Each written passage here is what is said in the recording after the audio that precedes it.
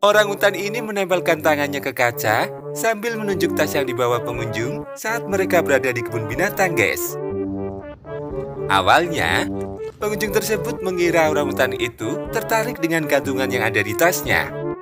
Namun ternyata, orang utan itu meminta pemiliknya untuk membuka tasnya dan menyuruh mengeluarkan makanan yang ada di dalamnya, guys.